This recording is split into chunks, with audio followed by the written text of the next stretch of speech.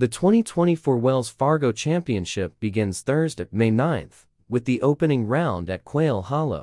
You can find full Wells Fargo Championship tee times for the first round at the bottom of this post.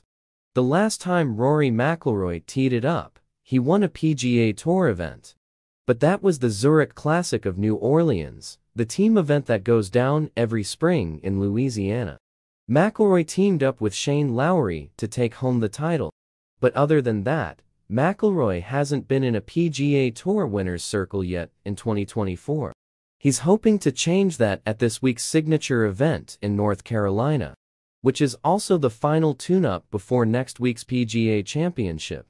For Thursday's opening round, McIlroy will tee off at 12:39 p.m. ET alongside Tom Kim and Max Homa. You can watch Thursday's first round of the Wells Fargo Championship on ESPN Plus, with exclusive early action and featured group coverage all day and on Golf Channel starting at 2 p.m. ET.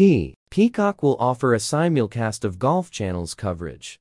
You can check out the complete round 1 tee times for the 2024 Wells Fargo Championship below.